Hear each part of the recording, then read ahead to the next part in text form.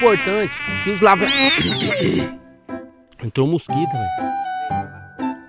Bora.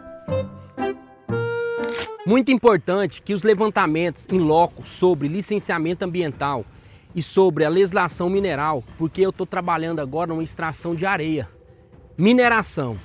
Você vir em loco e a gente utiliza o máximo de equipamento de alta tecnologia para comprovar a situação real aqui com a vistoria, com a equipe técnica. Hoje eu estou aqui, eu como engenheiro ambiental e mais duas engenheiras ambientais, para a gente fazer um relatório. Em seguida, nós vamos fazer um imagem de satélite de alta precisão, de alta resolução, com uma distância de uma foto no máximo de 2 metros, para a gente comprovar que esse local de extração de areia que eu já trabalho há mais de 15 anos trabalha de forma legal.